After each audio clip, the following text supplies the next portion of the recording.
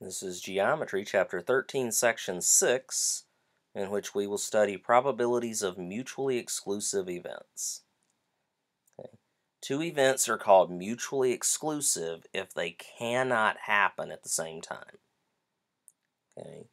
Um, anything that doesn't have any overlapping nature would be considered uh, mutually exclusive. Uh, in general, your class schedule is mutually exclusive. You can't be in English class and geometry class at the same time. So those two events would be mutually exclusive. A card, unless they've made a big mistake at the printer, cannot be both a spade and a heart at the same time. A number cannot be both even and odd. Those are mutually exclusive events. Okay. Let's see if we can determine if some things are in fact mutually exclusive. Suppose I'm going to select an integer from 1 to 100. Okay, what's the, uh, or is it mutually exclusive to get a number divisible by 5 and a number divisible by 10. That is to say, are any numbers in there divisible by both 5 and 10? Sure there are. 10 is divisible by both, 20 is divisible by both, 30, 40, 50, all the way up. So this situation is not mutually exclusive. Okay. Drawing a card out of a deck and getting an ace or a king. Well, unless they've screwed up at the printer, you can't get both an ace and a king on the same card. So that situation is indeed mutually exclusive because you can't get both of them.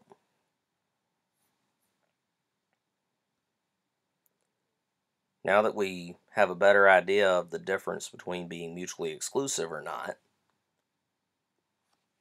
Let's look at the probability that either or happens. If you're looking at two different things and you want the probability of A or B, okay, then what we're talking about is the sum of their probabilities. This is where there's no overlap to consider now. They're exclusive events. Such as here, if we roll two dice, I want to know the probability of getting a sum of 9 or getting doubles. Okay. Well, to get 9 or doubles, you can't get 9 and also get doubles at the same time. 9 is an odd number. We don't have 4.5 on our dice. So it would be exclusive. We need the probability of getting a 9 or the probability of getting doubles. Well, in the last video, I gave you the nice probability chart to look at for rolling two dice. Probability of getting a 9 was 4 chances out of 36. Probability of getting doubles is 6 chances out of 36. There's 6 places in that chart where we have doubles. 1, 1, 2, 2, 3, 3, 4, 4, 5, 5, and 6, 6. That adds up to 10 out of 36, which reduces to 5 eighteenths, or the equivalent decimal. Okay. When things are not mutually exclusive, then your probability has to take into account the overlapping case. Okay probability that A or B occurs is going to be the probability of A plus the probability of B minus where they both happen. Okay, what what's happening here is you're counting things twice. And you have to take out the second time you counted them.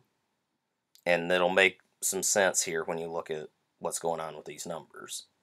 I've got a list of numbers here from 1 to 20. I want to know the probability that what I get is either odd or a multiple of 3. Well, there are some odd numbers on here. 1 is odd, 3 is odd, 5 is odd, 7, 9. Yes, I know, bear with me. Not 14.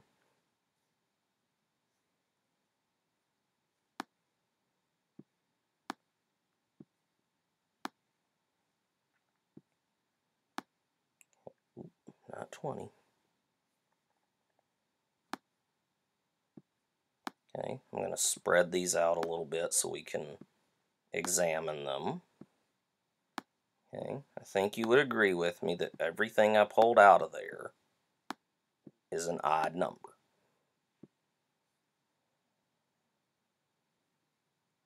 And there are indeed 10 numbers there that are odd numbers. Now I'm going to get, why do I grab the wrong one? Now I'm going to get the multiples of 3. 3 is a multiple of 3. 6 is a multiple of 3. 9 is a multiple of 3. 12 is a multiple of, but that's not 12. 15 is a multiple of 3. And 18. There are six numbers in that group. But look what you found.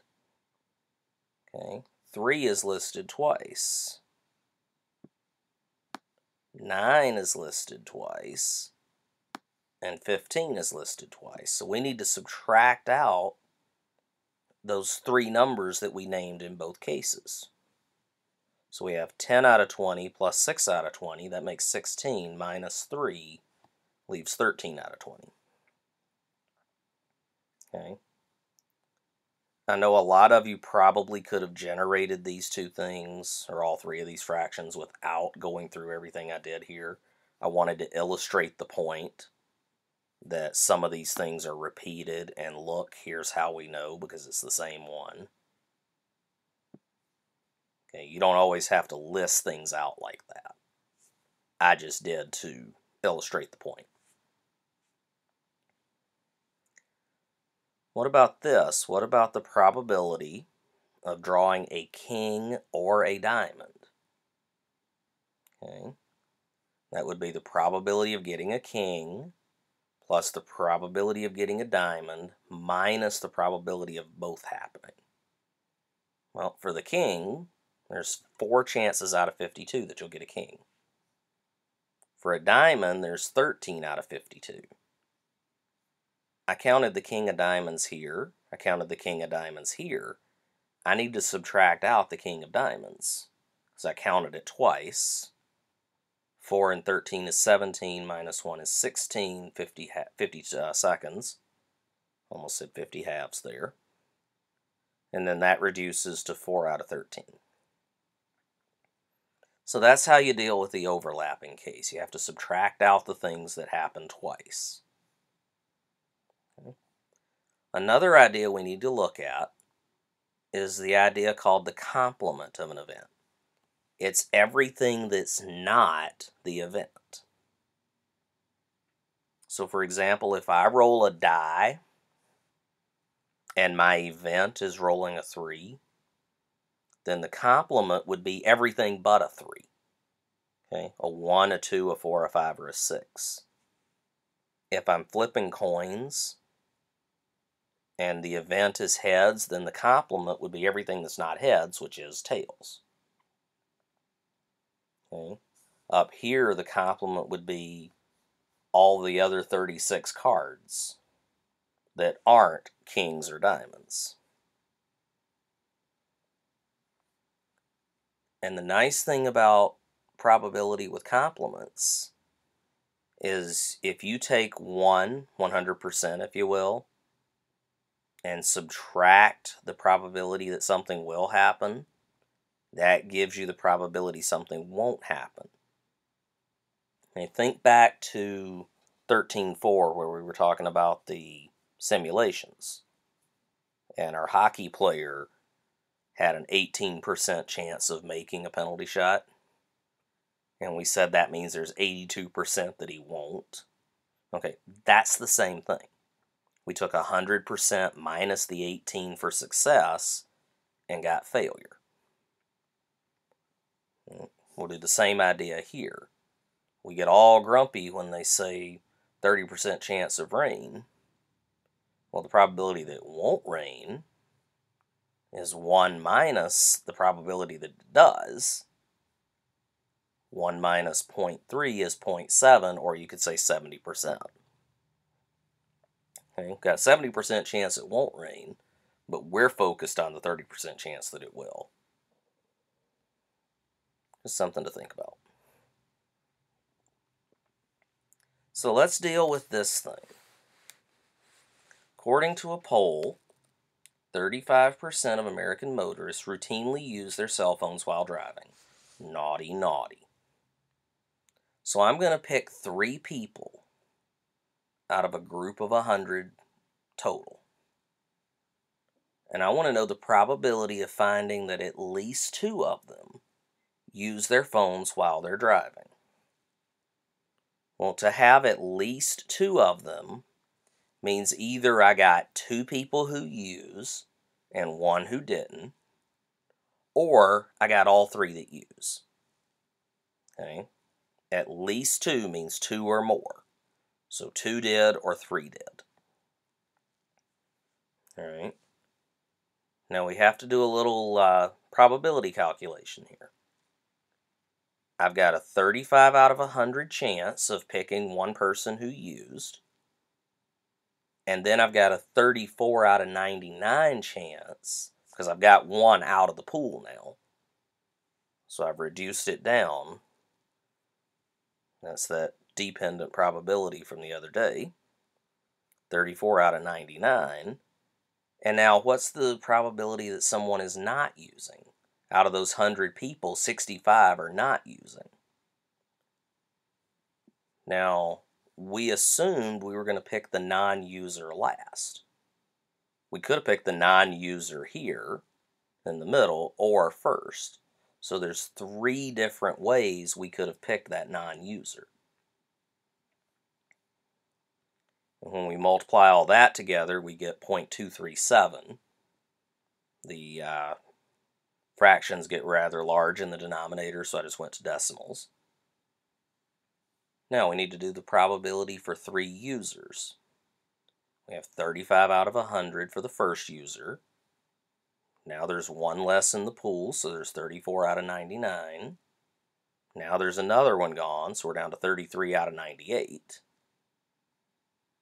Well, that is 0.040. So if we add it together, we get 0.277, or you could say 27.7%. Okay.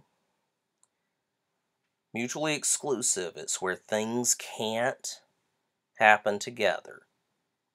When they can't happen together, like in this case, it couldn't be both two users, one not, and three users. This was exclusive, so all we have to do is add. When there's overlap, we have to subtract out the double count. If you had questions along the way, hopefully you wrote those down. Bring them in with you, and we'll see you in class.